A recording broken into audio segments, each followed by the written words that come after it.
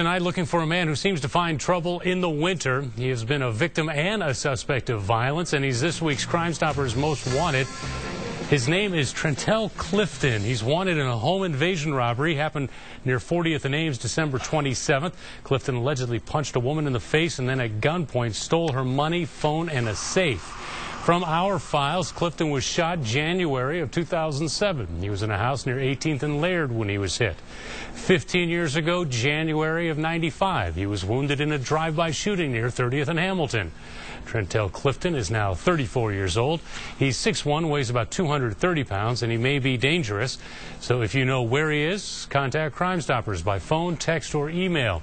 If your tip pans out, you could get a cash reward, and you'll never be asked for your name. Up next.